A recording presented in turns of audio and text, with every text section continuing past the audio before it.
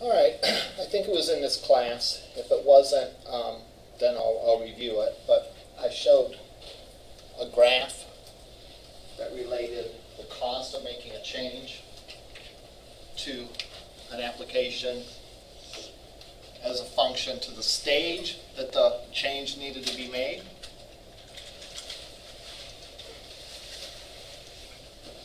And simply put, the further along that you get in the project, the more expensive it's going to be to change it. All right?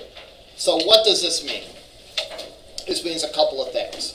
First of all, it means that spend a lot of time planning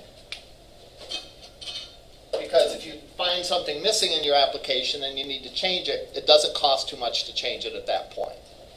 All right? So, therefore, most of the changes will be down that end of the spectrum. The other implication of that is to employ good programming practices because good programming practices will flatten this out a little bit. Still going to have the same basic shape, still going to increase over time, and in fact it's going to increase at a faster and faster rate. All right, increase at an increasing rate, so it's curved upwards like that. But if you employ good programming practices, you're still going to end up gaining because it'll be less difficult to make changes to your applications. Um, one thing that's inevitable in any application is change. Uh, applications need to be changed for any number of reasons. There's bugs in them. Something doesn't work right. All right? But even if you are perfect and there are no bugs in your program, there are things such as the requirements change. You know? Um, if, for example, there was a change in tax law, then every payroll company that processes payroll would need to change their payroll application. Has nothing to do with the bug. It's not like they did it wrong the first time. They did it right initially, but the rules changed. So their programming has to take into account that change. All right. Um, in addition, companies' policies may change. There may be new requirements. There may be additions to the to the application, and so on. So the one thing that you can count on is that an application that you develop is going to need changed at some point. So therefore, we're going to try to do the best we can to employ good programming practices to make it easier to change. So what are some of those good programming practices? If you think about it through this class and through other classes that maybe you've taken, maybe the web development class, you'll notice a theme. And that is how we take and we take a piece of the functionality and put it in a separate place. All right? For example, in, in just plain old web development, even before ASP.NET uh, pages, we put our CSS in one place. We put our CSS in a CSS file. And therefore, every one of our pages can use it. All right? Well, that's directly related to this. Because if we decide that we need to change our site, the colors of the site, or if, if, if our organization rebrands and changes their color scheme, for example. We don't have 10 different places that we have to go or 100 different places that we have to go and hunt down the code that makes the color a certain way on our site. We have one place, or maybe a couple places. But all the changes are isolated to one or maybe a few CSS files. We just go in them, make the fix, and that fix is reflected everywhere on the site. so that's one thing we do. We take certain chunks of code and put it by, it, them by itself in, in, in another file, and then we link to it. Another example is what we've done with the custom classes. Right? We've made a component for something that is important to our problem. And again, the big advantage of that is we can then use that component wherever we need it. So um, we used, um, you know, in, in, in, rock, paper, scissors, in the dice game, we took certain functionality and put it in a custom class, which means that if we have something similar to that on another page, then you don't have to reinvent the wheel. Just create the new user interface and link to that user interface through your code. Your code then in the ASPX file doesn't really do any of the processing of any significance. It simply links the user uh, interface to the, the rules, the business rules or the problem rules. So we, that, that makes it more maintainable to have it designed that way. Because, again, think in terms of more complex business functions like a shipping calculation, a payroll calculation. If all of that is isolated in one place, then it's very easy to go and change that one place. It's easier, let's put it that way. I won't say it's easy, but it's easier to go and change it in the one place and have to track it down in several different places and make the change several different times. Because you're going to mess up one of them. You know, even if you copy and paste, you're going to copy and paste wrong, or you're going to end up changing something else, or whatever. All right? Now, the one thing that we don't have a solution for yet, we have a solution about where we can put our C-sharp code if we want to share it between pages. All right, that's our custom classes. All right, we have a solution for where to put our CSS code if we want to share it between many pages that in a separate CSS file. Um, what we don't have is we don't have any place to put common HTML code. All right, if you think back for your project in CISS 216, you probably made a template and then you cloned that template several times, and you made five or six copies of it for however many pages you had. Then you went back and made each page do what it was supposed to do.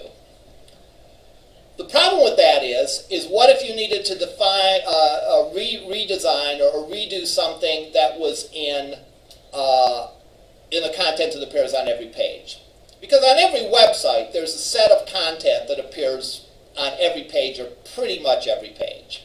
All right something about like the, the banner on the top of the page, um, the logo on the top of the page, the navigation scheme, something like that. Something, the footer, something that's common on every single page. What if you had to go and redo that? All right. Well, after you've cloned your template, you have to go and make that change in 5, 6, 10, 100, however many pages you have. And well, that's sort of not good. That's sort of the opposite of what we're trying to do. We're trying to have all our code in one place so that we can uh, reuse the code and, and we can have it so that if we make a change in one place, the change gets reflected throughout it. Well, what we're going to study today are things about the user interface that allow us to put our HTML code in a common place, all right, among some other things uh, but specifically the HTML code. We're going to put in a common place so that many pages can share it. So if we decide that we need to change the common areas of the page, then we can just go and do that. The one thing I failed to mention that we don't really talk about a lot in this class, but um, we talk a little bit about it in CISS 216 and we talk about it a lot in CISS 232, is you could also put your JavaScript code in a common file so that many pages can use the same JavaScript file. So we have solutions for everything except HTML. Well, that's what we aim to do today. If you think about it, a lot of pages on a site are going to have a very similar sort of layout.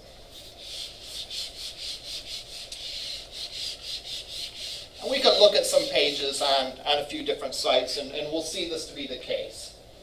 Now, there might be some variation. For example, sometimes a home page looks a little different than the rest of the page because the home page is a special page.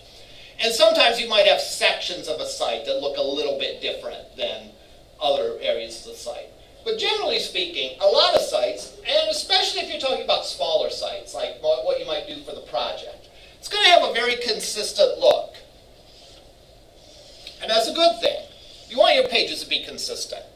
You want your pages to be consistent so users don't have to guess where stuff is. That if they get used to seeing something in a certain spot, it's going to be there. It's going to be there on every page. All right? But a very common sort of layout for a web page would be something like this. We would have a banner on the top of the page. That might include a logo and some words.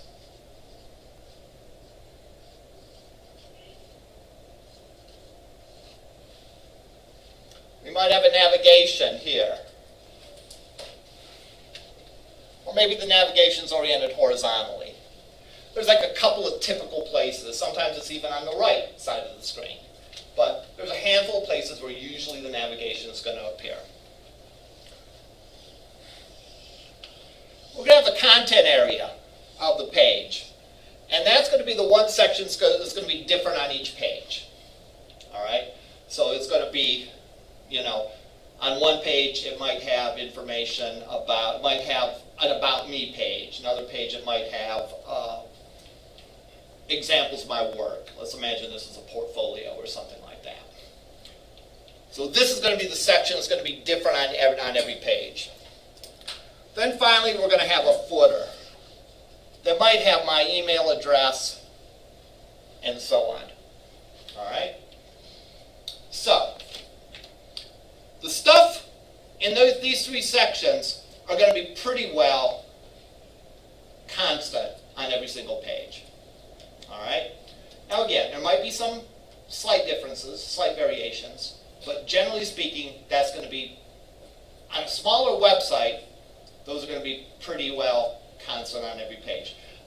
This section is going to be the section that changes, because that's the page that has the unique content for that page. All right? So that's our aim, is to be able to find some place to put this stuff. So that when we make a new page, all we have to do is change this stuff. All right? And what's more, if we have to go and change something in the header, we want to put something in here, then we just need to change it in the one place. And we don't have to go and change it in every single place. So that's our goal for what we're going to do today. Um, we're going to do not Zeller's Inc. We're going to do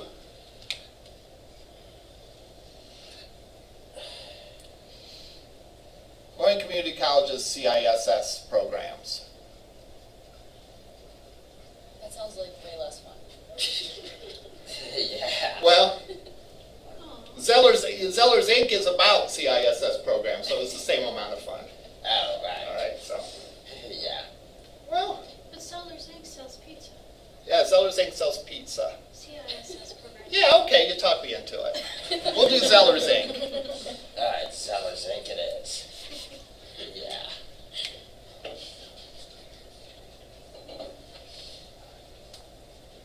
All right, so Zeller's Inc. is interested in what? Is interested in pizza. It's interested in video games. Specifically, it's interested in console video games and handheld video games. Yeah. This is an eclectic company, as you can tell. All right? In fact, we're going to stop this from being Zeller's Inc., and it's just going to be Zellers, because these are just things I'm interested in. Uh, we're also interested in music. All right, and so on. So that's what we're going to do. All right? Maybe under music, we're going to have listening and performing.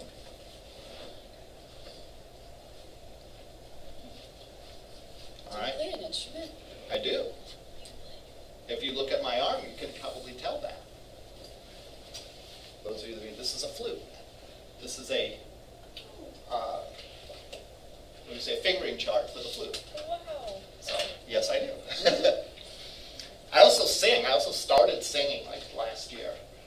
Yes, So you said that's flute. yes. I thought that was saxophone. Uh, the, the key the key charts for a saxophone and a flute are very similar.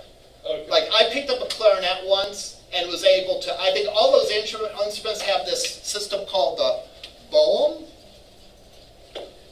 system, Wow. where the, this guy like figured out a way to make keys on instruments or something, and I think that is on a bunch of different instruments. So I think they're very closely related. I, I- I, guess I haven't taken a close enough look at that because I'm like that could be. I'm like thinking. I'm like, is that?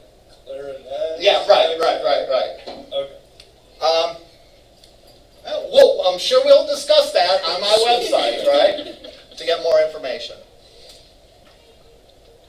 Okay, so the idea is going to be that this much is going to be constant.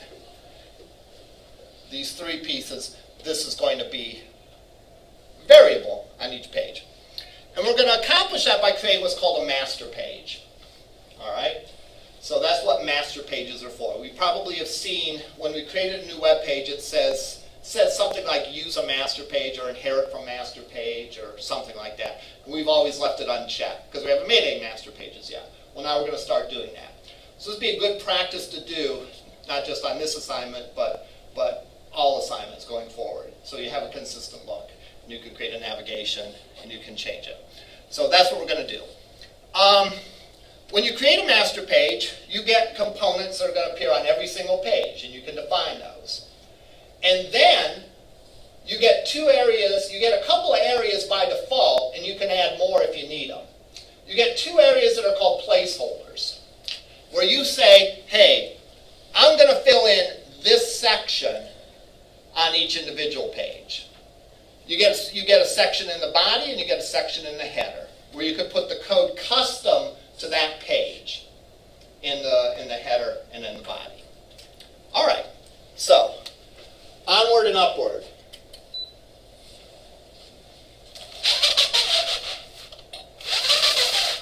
As I do this, I'm going to do some CSS. I'm not going to spend hours like designing perfect CSS, but um, we're going to uh, we're going to do something with that. All right, we're going to spend a little bit of time on the CSS stuff. All right, simply because um, we want all our pages to look complete. Yes. So therefore, we'll at least do some rudimentary CSS to make it look complete. So, go into Visual Studio.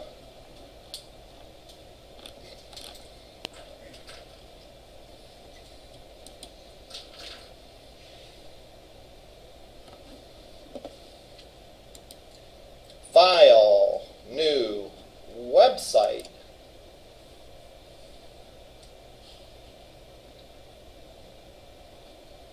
create an empty website. I'm going to put it on my desktop. And I'm going to call it Zellers.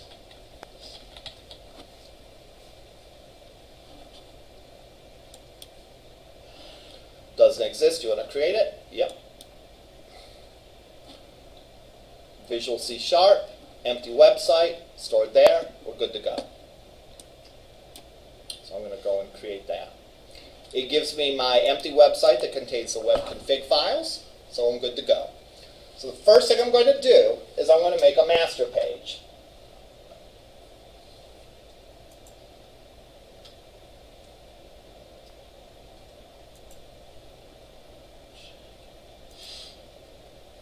All right, so I'm going to go up here and say File, New, File, and one of choices down here is a master page. All right. I'm going to give it a name, and I'll call it main. All right. It's possible to have more than one master page on your site. It is also possible to nest master pages, where you have a master page that inherits from another master page. And we'll talk about all that, and we'll talk about when you use it. You'd use that um, essentially when you have pages that are going to look alike but not exactly alike. Uh, a good example of that would be if you go like to LC's website,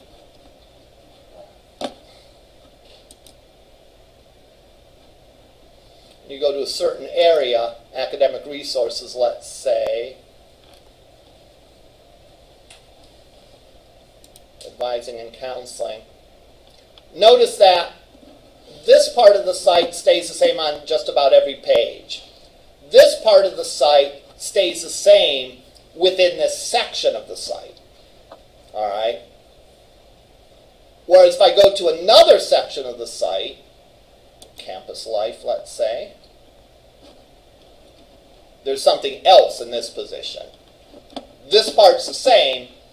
This part is the same within the section that you're in. So some sites have sections. So the multiple master pages, the uh, nested master pages, we'll talk about. Those are primarily for larger sites. All right, so I create my master page, and I say select uh, place code in separate file. I'm going to say yes. Select master page. I can't do that now because I don't haven't created a master page yet. And then I'll click add. I then get what looks like a regular web page It does. with two exceptions. All right. The two exceptions are, as I mentioned, in the page, there are two areas that are called content placeholder. Like I mentioned before, there's a section in the head and there's a section in the body. There is. All right. Now, I'm not going to put anything in these in the master page. All right.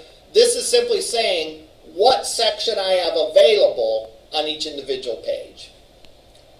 And I could have a couple of different areas, right? By default, it gives you one.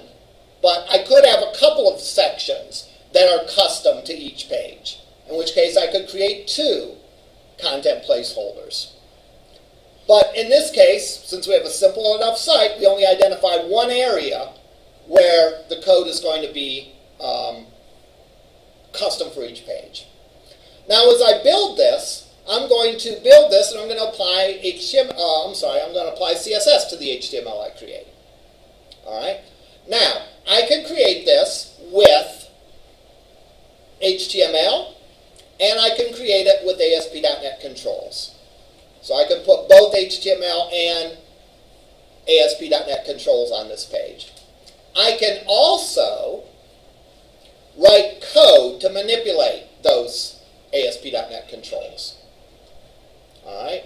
So I can, in, a, in essence, I can do anything I can do on a regular ASPX page, I can do on a master page. And that functionality will get copied onto every page that inherits from this master page. So I'm going to do this. I'm going to first of all get rid of this div. Actually, I'm going to change this div to a section. Why am I doing that?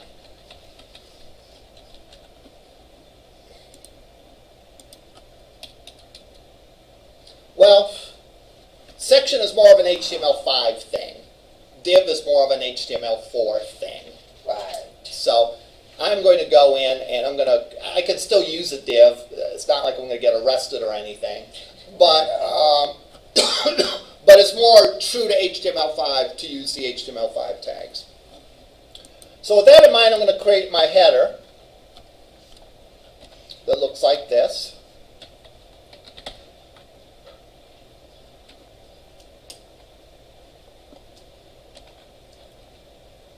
And for now, I'm just going to go very bones and say Zeller's, Zeller's land. Yeah. I'll make that two words, otherwise it looks like Zeller's land. yeah. Zeller's land. All right.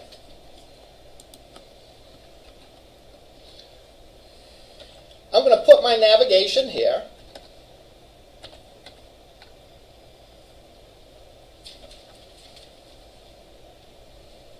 I'm going to put some navigation in now, but we're going to end up redoing the navigation.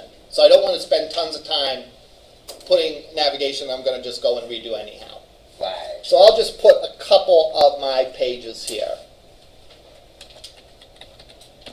I'm going to have my home page, which typically is going to be called default.aspx.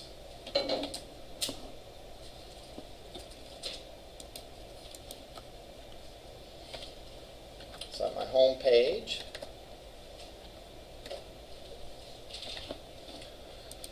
Navigations, again, typically are ULs, un, un, uh, unordered lists, and each item is a U uh, is an LI.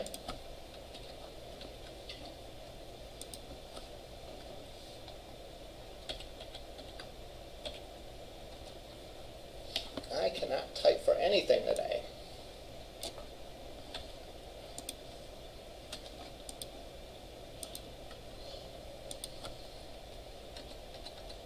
So I'm going to go and copy this just for the heck of it.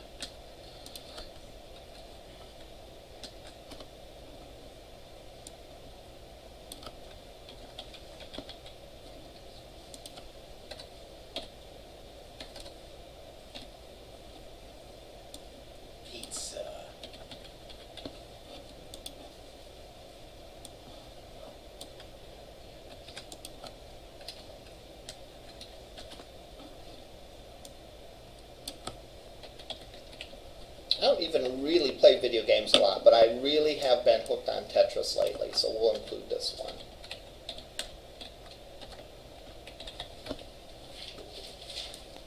So here's here's my four pages, and again, we might come back and add some pages later, but this is good enough for that. And we have my footer at the bottom of the page.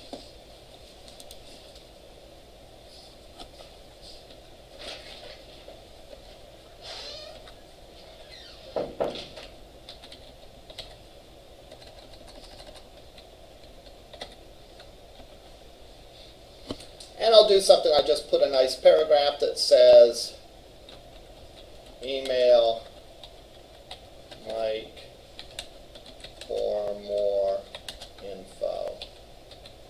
I'll make this a email link.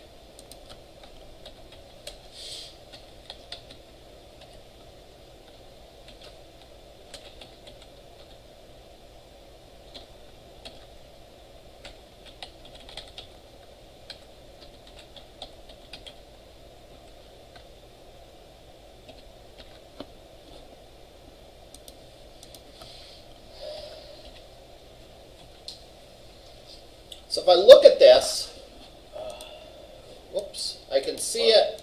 I can get a preview of what this is going to look like by going into design view. And there's my sections. Uh, no styling, of course. I'm going to go now and I'm going to create at least the start of a uh, CSS document. All right.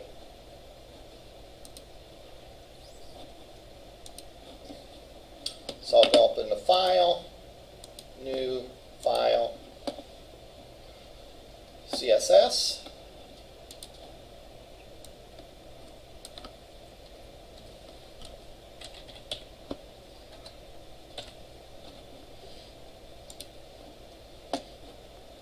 And I'll just do a little bit with the style. I'll say for this, the body, font, family,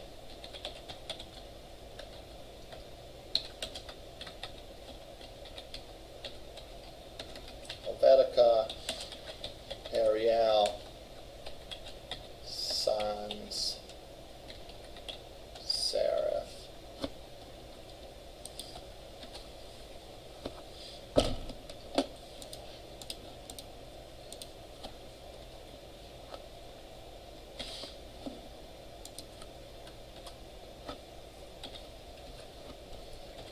Background, let's give it a light gray for most of it.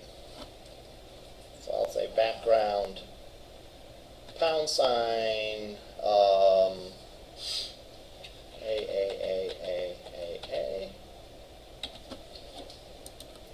All right, header, I'm going to make a width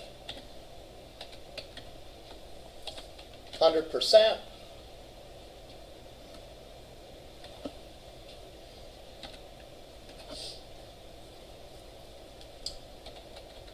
padding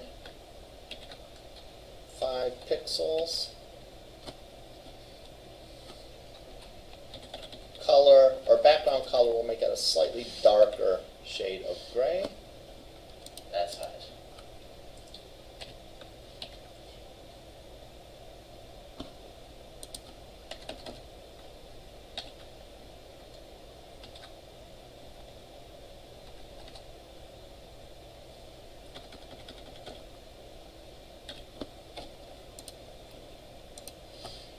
Oh, and I'm going to say float left.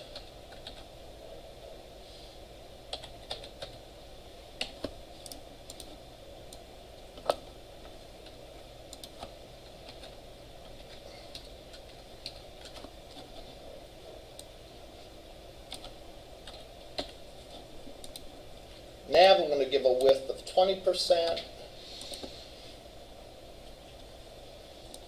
Float left.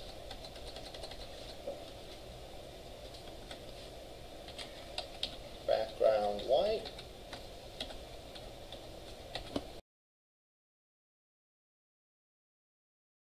Header, oh, um, section. Here I'm giving a style for the placeholders area.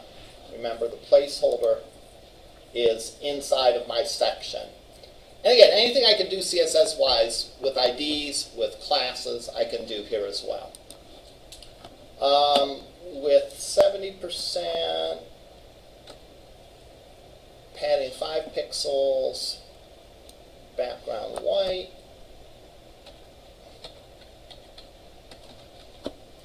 And finally the footer with 100%, yeah, we'll keep it like that. Let's see what this looks like. Again, my aim isn't to make something that's perfect. I'm going to save everything. My aim is to make something that demonstrates what you can do with this. I could put a title in here um, and say, you know, well, I'm not. I'm going to avoid. Actually, I'm going to avoid putting a title in here because this is my template. I'm going to then create a link to my CSS file. Link href equals main CSS rel equals style sheet type equals text slash CSS.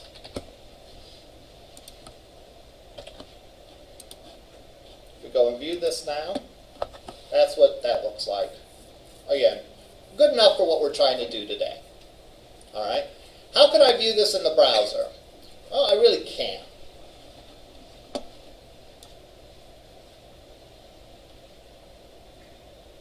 I don't think so anyhow. Because this is this is not a web page. This is a shell of a web page. What happens if I click this? Well, I'm going to get an error. Because it's going to be looking for debug, or not debug, default.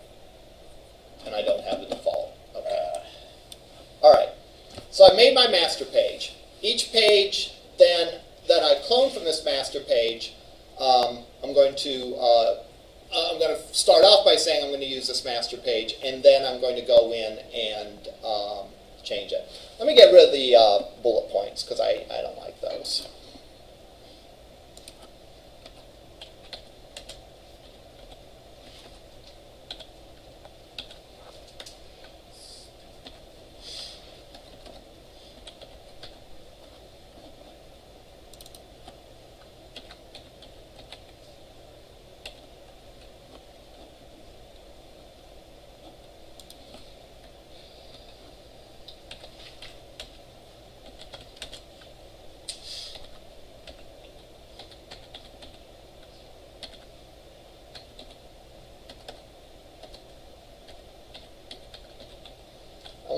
Little bit of space between them too. All right. So there's a little bit of space there. I'm actually going to put a little bit of space to push that section over. So I'm going to say, on my section, I'm going to say margin left 10 pixels. I would expect those of you that have taken CISS 216, this is largely review for you. If you have questions about what I'm doing here, feel free to ask me in lab and we can review it. But that should bump it over. And there we go. So yeah, that's, that's what I want. All right. So I've now created my master page. I'm now going to start cloning that master page for my different pages in here. So I'm going to go first to File, New, File. I'm going to create a web form. By default, it's giving me the name of default.aspx, which is good, right? Because that's what I want to be my home page. That's what I've created the link for on my page as a home page. Place code in, in separate file, I want to check that, like I've been doing all along. Lastly, select master page, I want to select that one now. So I click add. It'll ask me which master page I want to use. Um, and I only have one, so I'll pick that one. Now I get something that is not, does not look like a whole web page. Looks like a section of a web page, right? I get two content areas. Well, guess what? These content areas correspond to the content placeholder in the master page. So for example, this one has a content placeholder ID of head. If we look here, that corresponds to this content placeholder. So anything I were to put in here would appear in here, sort of get pasted into there when I actually run that page. Essentially what happens is when I run a page now, it assembles that page. Remember, the server does some processing to create a web page with, uh, with ASP.NET. So one of the things it does, it takes all the code in the HTML, or I'm sorry, in the master file, and it merges it with the code that's in the specific file. And the way that it merges it in is anything in here is going to get put in this spot. Anything in here is going to get put in this spot. All right? So, notice that I can't put anything here.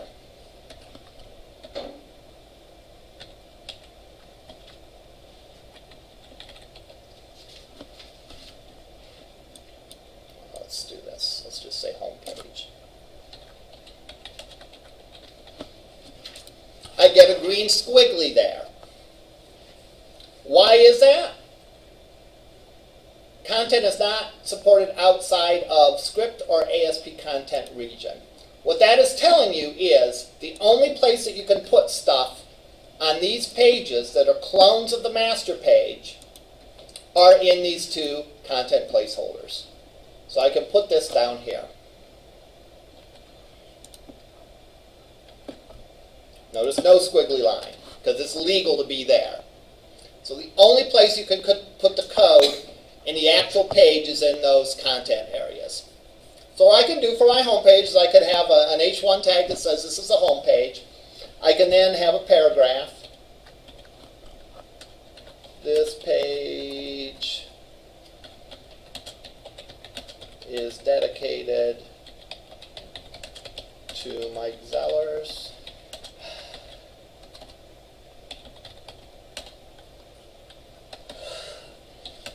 Noted. Well, I don't want to brag too much. Professor at Lorain County Community College.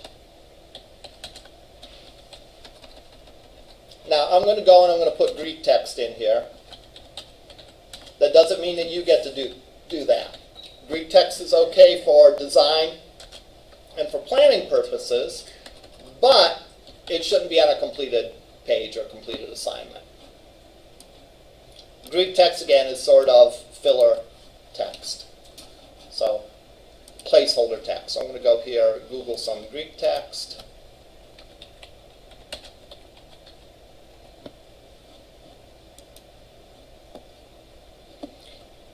Give one paragraph of it.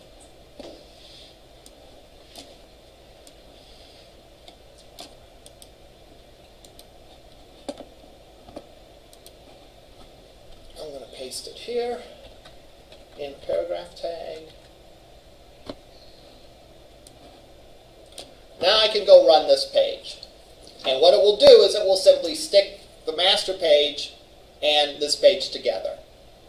The master page has sort of the shell of the site. The stuff that I put in the content areas get, gets put in the master page in the appropriate content placeholder. So that stuff gets put here. If there was anything up here, it would get put up here in the head section. So let's go and run it. Right.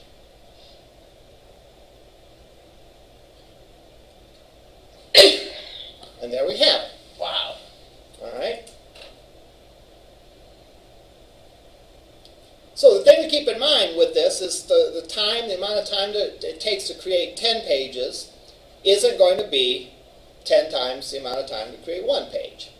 It's going to create. It's going to be, um, um, you know, a amount of time to create your template, your master page, and then uh, the time to create the custom content for each of the other pages. Okay, so let's go and let's make a pizza, video games, and music page, just to finish things out. Yeah. All right, so we'll close this. Process to create a page. We went and said new, file, web form. I want to select from master or select master page, so I want that checked. This, I'm not probably not going to pick default two. All right, default for the first one is okay because that's your home page. This I'm going to base on what I call the links. And if I remember right, I called the pizza page pizza.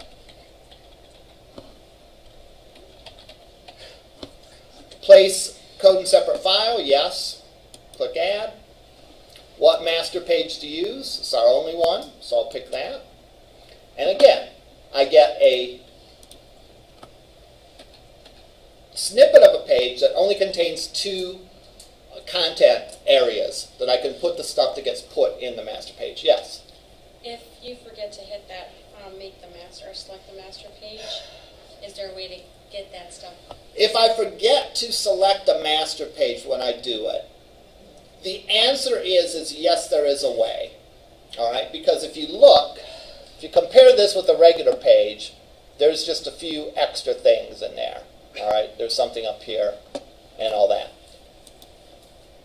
I have noticed, it's been my experience, whenever I try to go and do something like that, there's always something I forget and something doesn't work.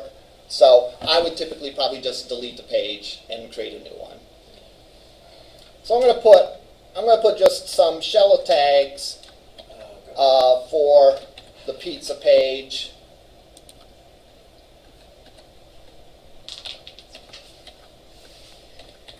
Pizza is my favorite food. All right. I'm going to create the video games page. Let's check to see what I called it. Called it video games. So I'm going to go File, New, File.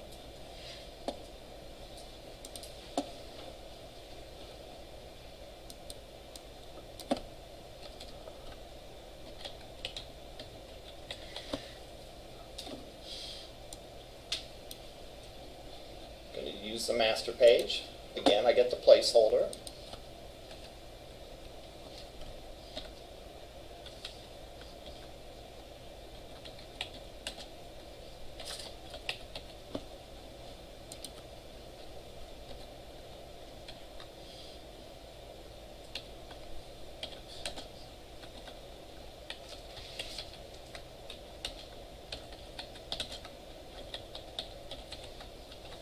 All right. Then finally, I'm going to create a web page for music.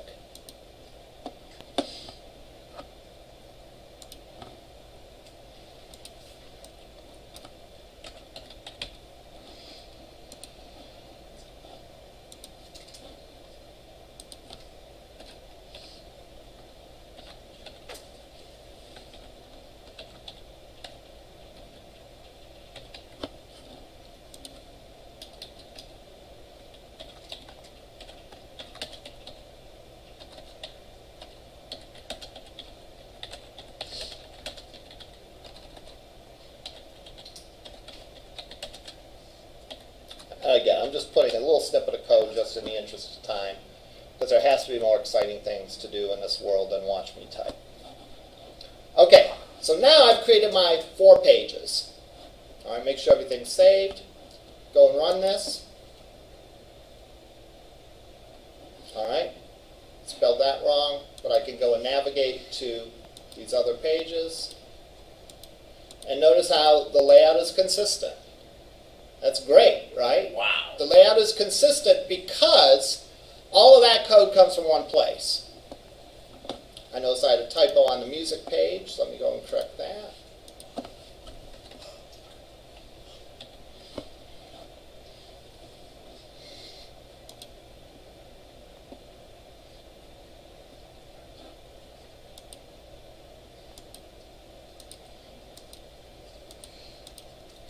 Now, if I want to go and change something on page, I have to decide is that the common area or is this the additional area, the area that's unique to both pages. So for example, maybe I want a little paragraph underneath Zeller's land, something in the header that goes and explains um, explains the purpose of the site. That's something that's in the header. So it would be something on the common page. So I would go into the master page and I could go into here and just say a page about the interests of Mike Zellers. So I can go and add that. Now when I run it again, that gets added to every page without having to go in and physically adding it to both pages because each page now is a merger of the stuff that's in the master page along with the stuff that is in the specific page. Any questions at this point? Remember, generally that's a question. Yeah, Mr. Sowers, I wanted to ask you a question. My question is, um, when is midterm, when are our midterm grades going to be? Um, I don't know. You don't know? No. Okay. Um, there isn't a midterm in this class. There so? I'm not sure what a midterm grade is. Um, Uh, I think uh, professors have the options to enter a midterm uh, grade, um, or they have an option just to say that you're passing or failing. okay. Okay. Um, typically, questions like that are better to ask me like after class or in lab, Okay, sorry. or, or no, that's okay, or, or email them to me. Okay. You know, generally speaking, during the lecture, we want to keep on the topic that we're talking about. All right. So, same thing applies if I wanted to change the nav, if I wanted to change the, the, the footer. All I would have to do is change it in the common area, and then every page gets reflected with that. Yes? We need to add a new content holder after we've made the master page. How would we do that? If you want to add a new content holder, all right, Let's say you wanted something in after Zeller's land that that goes horizontally. Yeah, that goes horizontally that changes with each link. Okay, so I want something here that goes across the entire width of the page. All right, let's let's try to do that. Like you know, home could be a page about interests in Mike Zellers and pizza. It says who doesn't like pizza. Right. Okay, sounds good. All right, let's go and let's go and do that. All right, this is adding a content area after we've already defined the master page and and this. Um, ideally, and again, that's a great question. And you never know when you'd have to do that because you may plan to do it one way and then realize that you need another area. It is good, however, to sketch things out in advance and to get it as close to the way you want it to be in, in advance. But if we had to do that, this is how it would work. I would go in here and go into my master page, and I would go and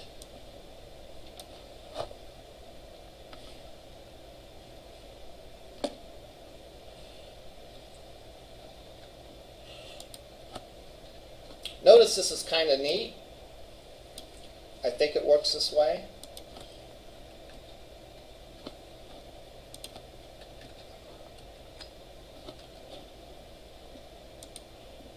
Notice that when I pasted it, it automatically updated the name of content uh, placeholder to. All right. So that gives us the ability to put something into that area. All right. Now, we'll go to the page, um, and we can go and put content in that. So I will go in and go to my default page, and interesting, sort of didn't put that in there. So what I can do is I can copy that and say it relates to content placeholder 2. And then I can go in and say, this is a home page. I could say something like, there's no place like home.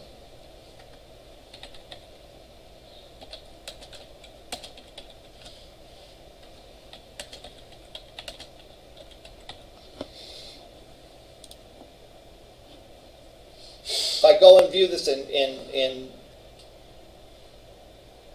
Did you, do you have to put the tags around it? I have to put, Paragraph tags around it? yeah, I should. That's not, that's not what's giving me the error, but.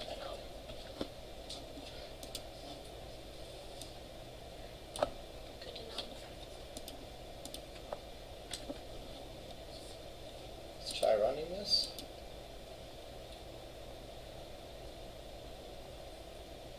Okay. The only thing now is style goofy. Alright? Uh, because I was only counting on there being one section of the page. So, what would I have to do to fix that? I'd have to get more specific in my style sheet. And the best way to do that would be to look at the HTML that gets generated here. And we'll notice that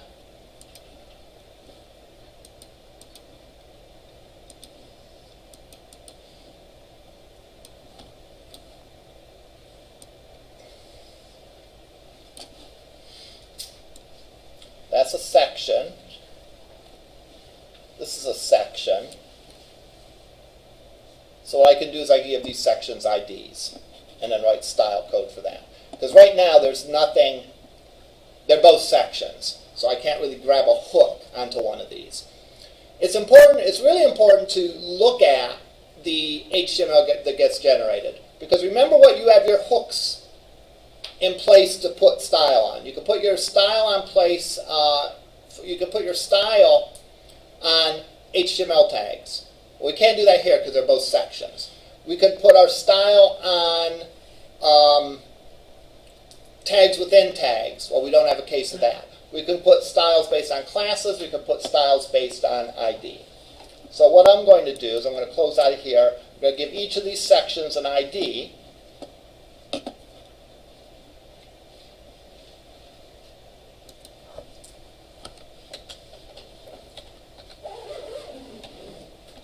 We'll call this the it's just a little witty thing that's going to be on this page.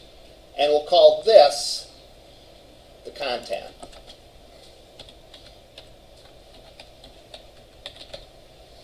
Then I can go and change my CSS to say, instead of section, I can say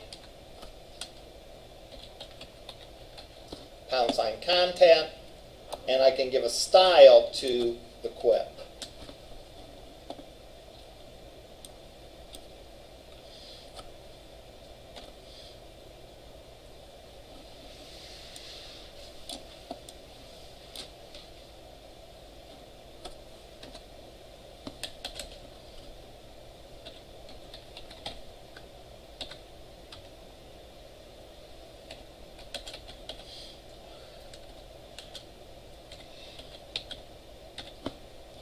All right. Oh, this should say quip.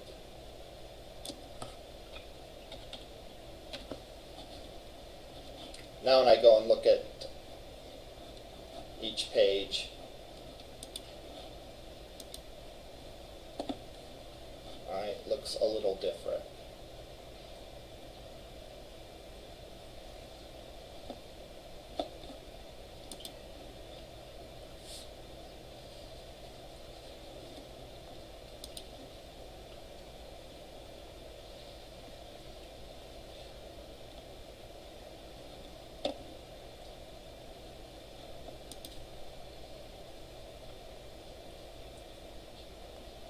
Okay, there's my quip.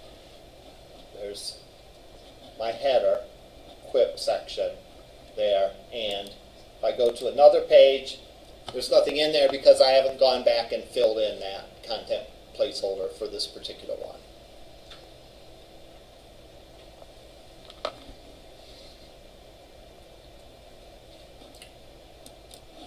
Which I could certainly do.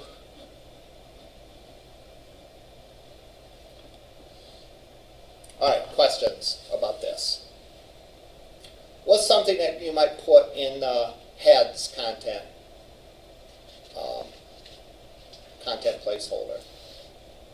I'm thinking things like JavaScript, um, all alternative um, CSS files. If you had a CSS file for when you printed something, um, that you wouldn't that that where you'd run a particular layout if you were going to print the page instead of view the page on the screen. If that was unique to the page that you were looking at, you could put um, a, a, an alternative style sheet there. Or you could put JavaScript there.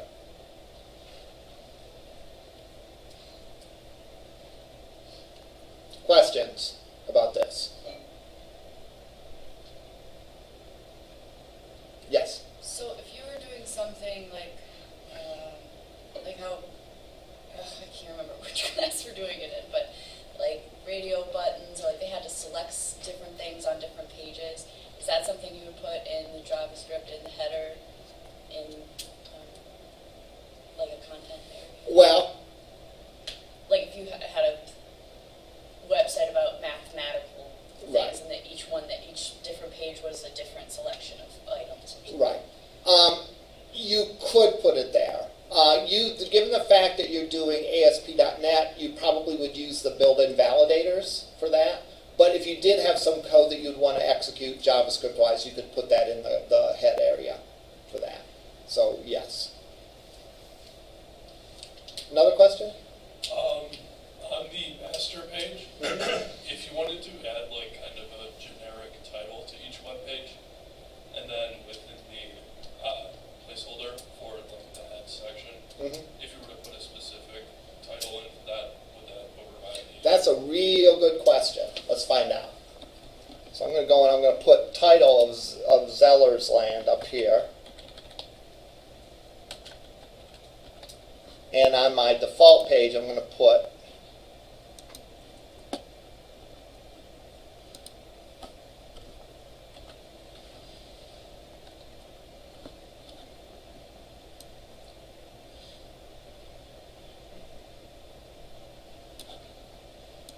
actually you put it up here.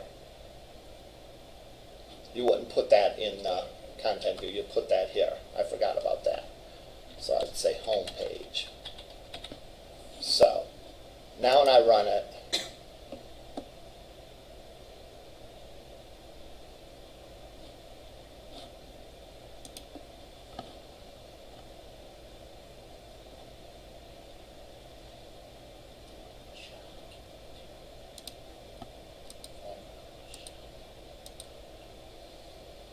it says home page for the title. If I go to pizza, it says Zeller's Land. So yeah, that's that's how you do that. I thought that one was a little different. I, I um, but yeah, that's how you would do that. Questions? Now, let's think of um, some sites have a more involved navigation. So, like, for example, with pizza, I might have my favorite kinds of pizza and my favorite pizza places, right? They both say the same thing, right? All of them. All of them is my favorite kinds of pizza, and all of them is my favorite pizza places. Well, that's not true. I don't like onions, so no pizza with onions. And I'm not going to make a stand on the, the controversy of 2017 of whether pineapple belongs on pizza or not. I'm okay with pineapple on pizza, although it's not my first choice. All right, but anyhow, I could have underneath each of these pages, I could have sort of like sub pages, right? So I could have uh, under pizza, I could have kinds of pizza, pizza places. Underneath video games, I could have um, console video games and mobile video games. Underneath music, I could have perform.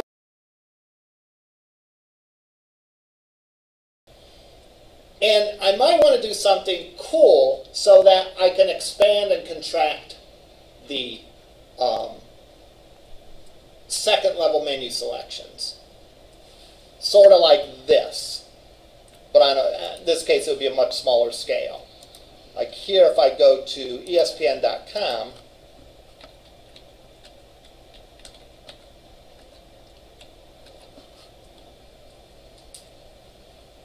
each of these main selections has a submenu that pops up.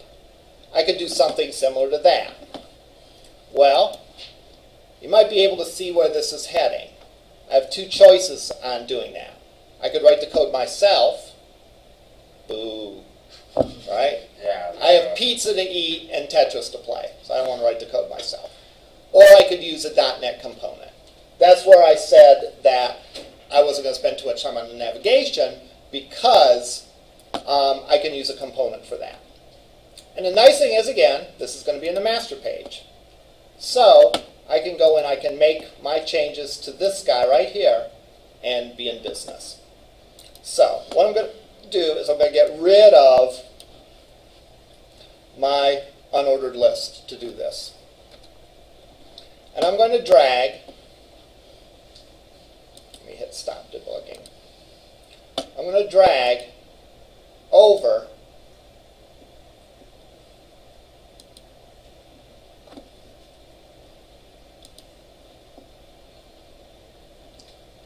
into that nav section, and I could either do it on the visual view or I could do it on this view. I'm going to go in and go into the navigation section, and I'm going to put a menu. We have two things that are similar. We have menus and we have tree views. All right? We'll look at both of them. They essentially do the same thing.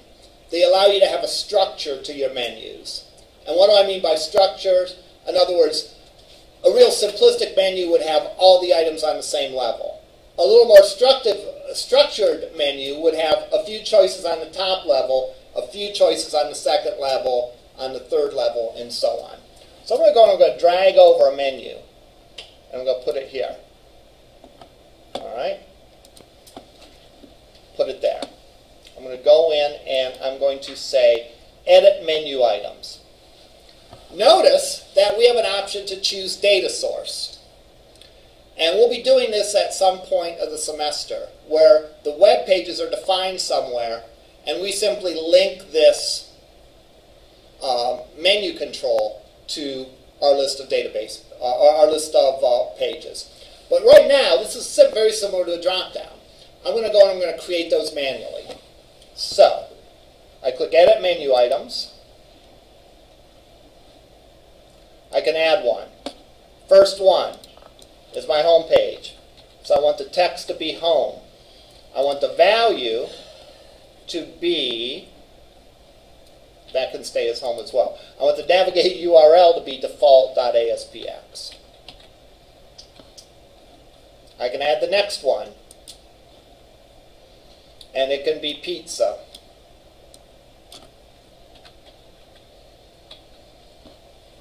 My URL is going to be pizza.aspx.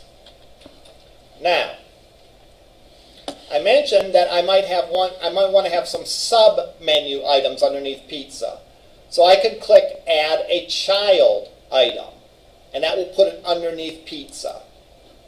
So I don't have. I haven't created these pages yet, but I could. So I'll put Pizza Places.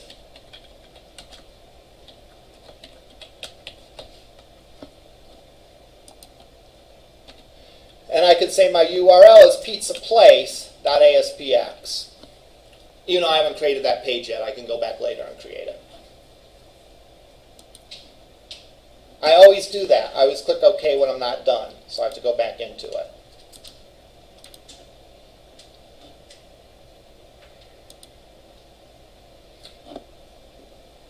This is going to be my favorite kinds of pizzas.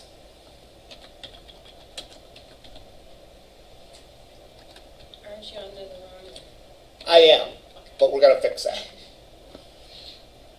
And navigate URL will be pizza type.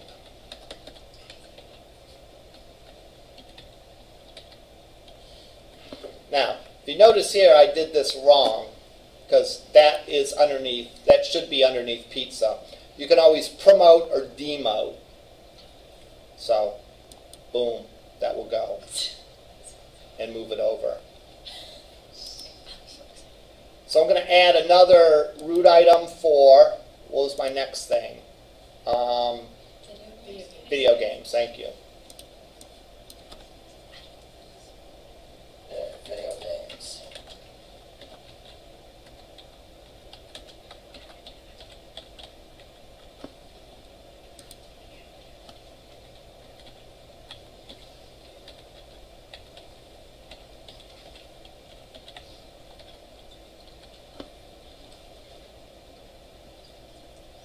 This should just be the video games page.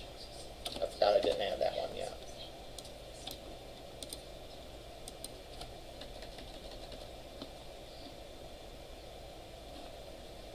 I can add a child to this for video games mobile.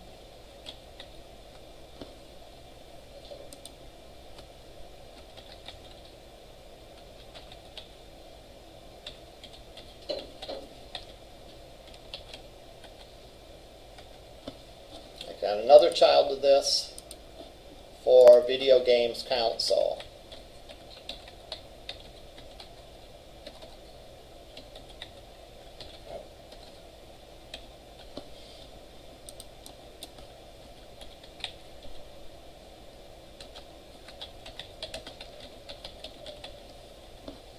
Add another root item for music. The navigate URL, URL for that is music.aspx. Add a child.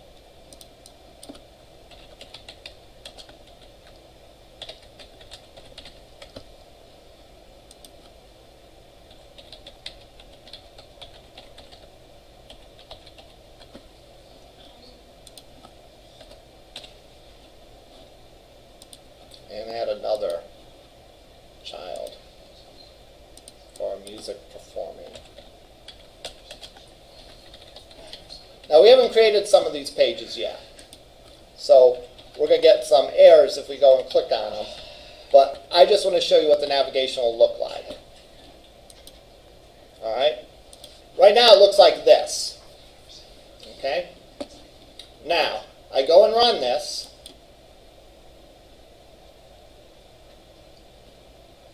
That's what the navigation looks like. The ones with the little triangle next to it indicate that there is additional information. There's an additional level. So if I hover my mouse next to it, it'll give me those additional options. So I could click and go to the pizza page if I wanted to, or I could hover over there and pick pizza places or pizza types. Likewise, I could go and do the video games and see video games that, music, music performing, and testing, or uh, performing and listening. So I very easily, without coding any of this myself, have a nice little structure with the with the, the mouse over menus, and I can go several levels deep. I didn't only, you know, um, you know, if you were doing, a, imagine doing a clothing store, you might have um, adults clothing, men and women, men's shirts, men's pants, men's shoes. Under men's shirts, you might have formal shirts, uh, casual shirts. Underneath formal shirts, you might have tuxedo shirts, button-down shirts, and so on. So you could go as many categories as you need to deep. All right. Uh, we just went two, but you just essentially do the same thing. All right. Now there's a small hitch in here, and we'll look at this on Tuesday. All right. The little issue is, notice when I mouse over, that sort of Illegible. is illegible, right? Because it shows over uh, over the text. Yes. Is that something that you can fix by making like a sub nav in the CSS? Exactly. This is a CSS question, right? And that's what's important to identify. In fact, we might go ahead and fix this now instead of waiting until next time. All right? Because we have we have about five minutes left. This looks like about a five minute problem. All right. It, it's it's very good to be able to identify right off the bat what kind of problem it is. All right? Is there a problem with the content? No, the content is correct. All right? on a regular web page is probably either going to be an HTML or a CSS problem. On a ASP.NET page, it could be an ASP.NET component, an HTML, or a CSS problem. In this case, it deals strictly with the parent, so I would say this is a CI, uh, CSS problem. Now, we have to put a style on something to make it work the way that we want it to. The question is, is what do we put our style on? Well, unless you got this stuff memorized, which I sure don't, we look at the HTML. Yeah, like an HTML, exactly. And as I scroll down,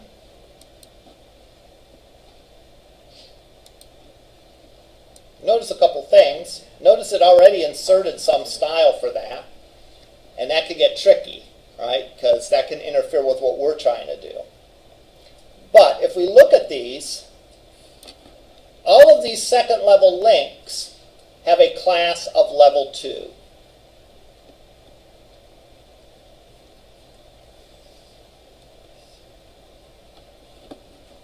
So I should be able to do this.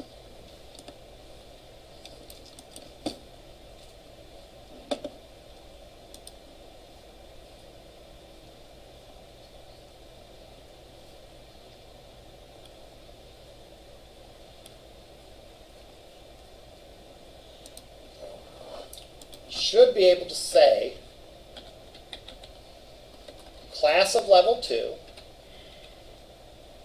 dot level 2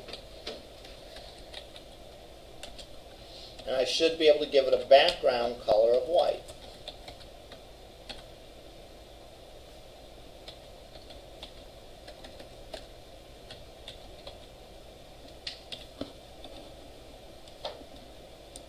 Now when I go to run it,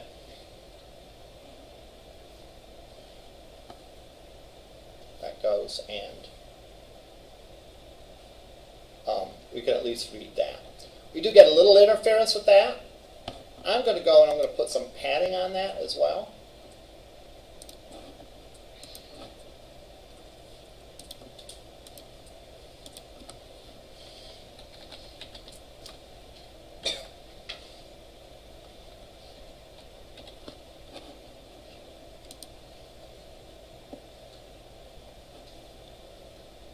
That makes it much easier to read. We could play around with stuff like make it transparent if we wanted to, but that seems to work um, as well. Is the default transparent or Well- what's happening? Well, what's happening is there was no style rule applied to level two. Because there's no style rule applied to level two, there was no color associated with it, and therefore it ended up as transparent. All right.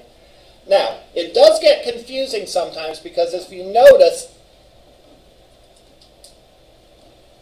some CSS was injected by our ASP.NET controls.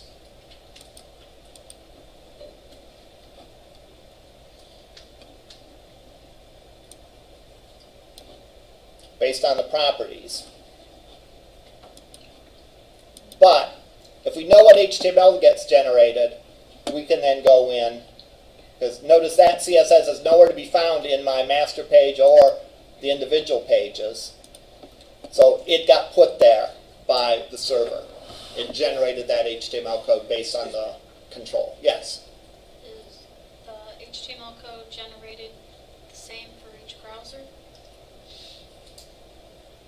That is a great question. I believe it does. I can't say that for 100% sure, but if I had to bet on one, I'd say probably it does. The idea is, um, we're sort of getting away from, you know, and, and we've been away from this for a while, but um, you creating different code for different browsers is kind of, uh, if you absolutely don't have to, have to, have to do it, then don't do it. Yes. So is there no way to adjust that? Like if this, if the browser creates code and it's something you don't want? Well, keep in mind, uh, uh, just to make sure we have the terminology right, it's not the browser that's creating the code, it's the web server. When it processes these controls, it would create the code. Is there a way to, to, to not do it? Yes. Um, we'll review this in more detail on Tuesday, but if you go and look at this, there's actually a whole bunch of properties associated with this.